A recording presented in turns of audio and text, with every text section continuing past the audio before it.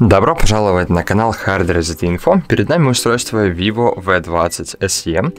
И сейчас я покажу вам, как на этом устройстве выполнить полный сброс настроек через настройки. Итак, вначале открываем сами настройки, после чего спускаемся вниз и выбираем «Система».